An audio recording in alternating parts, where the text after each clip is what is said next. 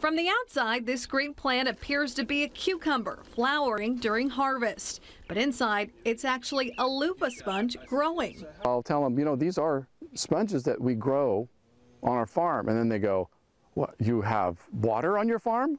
You have a small ocean? No, no, we grow them like cucumbers. Nathan Pauls and his wife Sherry are the owners of Luffa Gardens, a small family farm just outside of Reedley. They get a lot of reactions when they tell people the loofah sponges are not grown in the ocean, but on vines. They're amazed. Generally, everyone's amazed. The farm started after Sherry got an unusual gift in the classroom. And so I brought it home, and my husband decided a few years later to plant the seeds and it grew into a beautiful loofah vine. The vines produce clusters of the vegetables. When they're young, you can eat them, and it tastes like a sweet squash. But if you let them mature, they actually will turn into a sponge.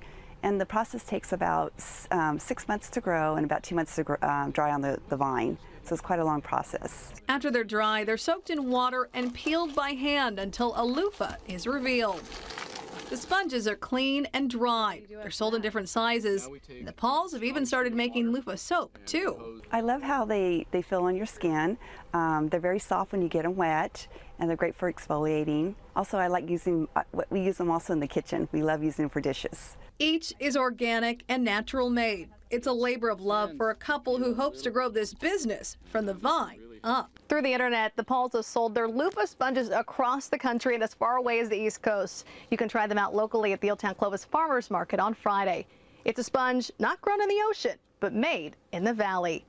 Thank you for watching. For more videos like this from ABC 30, just make sure to hit that subscribe button below.